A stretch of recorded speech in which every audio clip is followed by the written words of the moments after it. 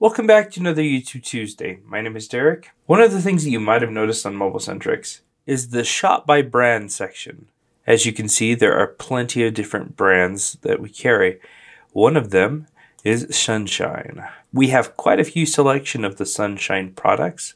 And under the recently added, you can see that we have new additions to our Sunshine catalog. Today I want to focus on just two of them. So let's get into the video.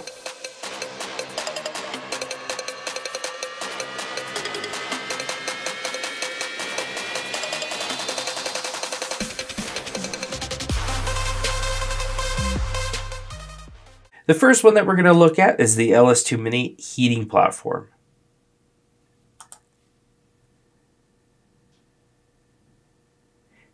It's a large size heating machine. So let's get into some of the basics. Connects up with a regular power cable.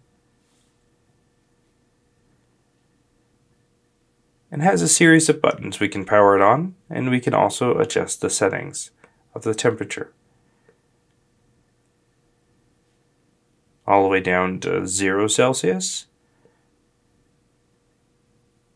And all the way up to 260 degrees Celsius, which you really don't want to go any higher than that if you're working with motherboards.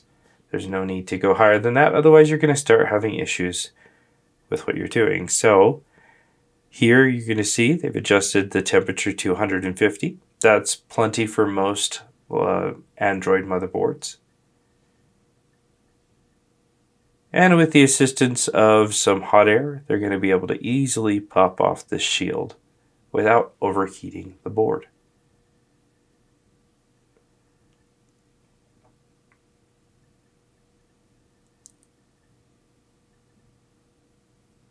As you can see, Here's another application where they're just heating through something to remove and replace a little LED.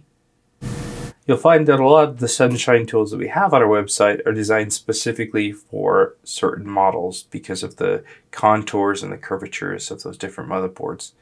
This one allows you to use it for basically anything that you need to warm up.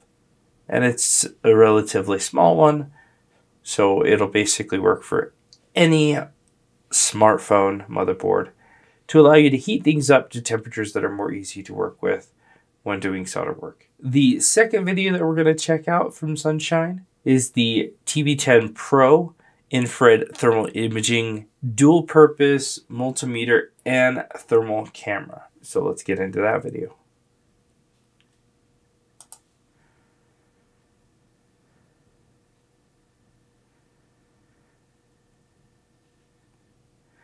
Their fun little intro here.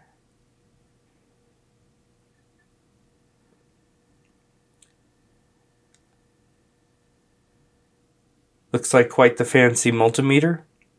Going through the different mo modes, resistance, diode, voltage. Being able to switch between a macro lens and a micro lens to be able to measure accurately.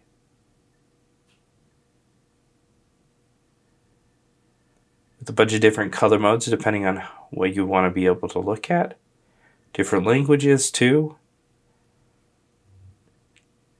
Voltage detection, including the probes. Sunshine has tons of different tools.